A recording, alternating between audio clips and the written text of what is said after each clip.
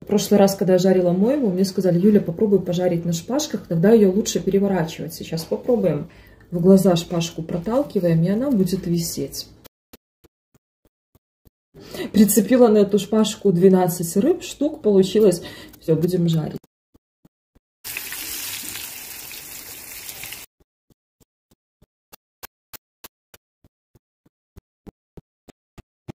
Надо потоньше шпажка, ну лайфхак. Лайфхак классный.